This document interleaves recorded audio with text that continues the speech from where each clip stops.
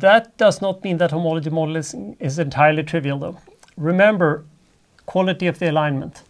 What if I have two sequences here and I just happen to screw up a little bit so I offset them by one amino acid?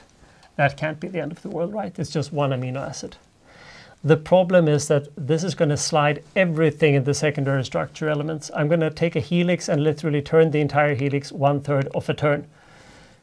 Those two helices have an RMSD of 3.8 angstrom. It's a gigantic error. Remember what I told you before? Two angstrom structures are good. We can frequently get that with homology modeling. Around five, all bets are off.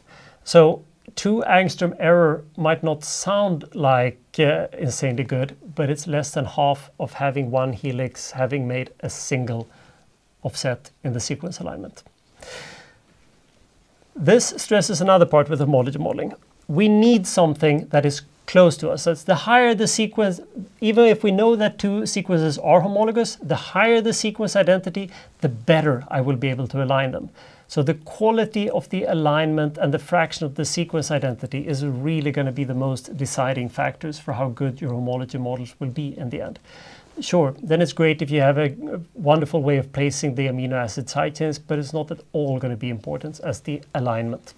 In practice, we don't do homology modeling manually anymore. Whenever I need to do something, I would go to one of a couple of websites. I happen to love Johannes Söding's website, it's called HHpred they're using some hidden Markov model method, exactly what is not important. Most, in most cases, you don't need to know the entire internal machinery just to create an homology model. You can just paste your sequence in a window, click through, look at the multiple sequence alignment, and then they will gradually take you through step by step until you have a PDB file you can download. It's stellar.